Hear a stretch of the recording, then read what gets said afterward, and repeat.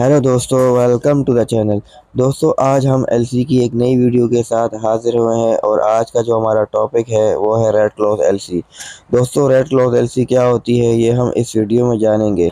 दोस्तों, जो normally LC open की जाती है, उसमें जो बायर का बैंक होता है, वो सेलर के बैंक को अंडरटेकिंग देता है कि जब एक्सपोर्टर शिपमेंट करेगा और उसके डॉक्यूमेंट बायर के बैंक को प्रेजेंट करेगा तो बायर का बैंक डॉक्यूमेंट के प्रेजेंटेशन के बाद सेलर के बैंक को पेमेंट कर देगा।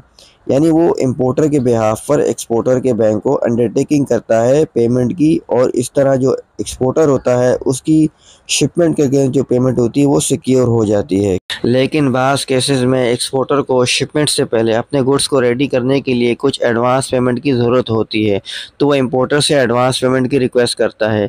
इस तरह के केसेस में जो इम्पोर्टर होता है, वो रेड क्लॉथ एलसी का इस्तेमाल करता है। दोस्तों रेड क्लॉथ एलसी आम एलसीओं की तरह होती है, बस इसमें एक क्लोज एक्स्ट्रा ऐड की जाती है रेड इंक से। उस क्लोज में ये तय हो जाता है कि शिपमेंट के वक्त एक्सपोर्टर को जो इम्पोर्टर होता है, वो maximum 25 percent value of the goods जो एफओबी वैल्यू होती है, उसका 25 परसेंट तक एडवांस पेमेंट कर देता है। यानी कि अगर टोटल एलसी ऑफ़ अमाउंट अगर टेन थाउज़ेंड यू डॉलर है एफओबी तो उसका 25 परसेंट यानी ढाई हज़ार डॉलर की पेमेंट एडवांस एक्सपोर्टर को मिल जाती है। उसके गुड्स की मैन्युफैक्चरिंग, उसकी पैकिंग और उसके ट्रांसपोर्टेशन के एक्सपेंसेस के लिए।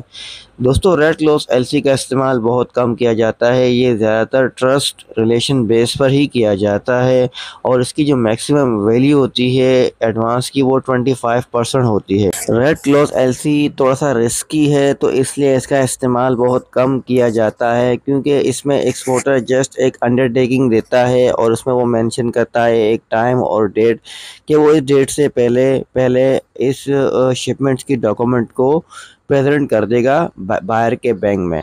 रेड क्लॉथ एलसी का इस्तेमाल रिलेशन बेस पर ही किया जाता है, जो इम्पोर्टर और एक्सपोर्टर होता है। उनके दरमियान जो बिज़नेस रिलेशनशिप होता है, वो बहुत ज़्यादा लॉन्ग और स्ट्रॉन्ग होता है तब ही जाके importer red clause LC open करने के लिए एग्री होता है।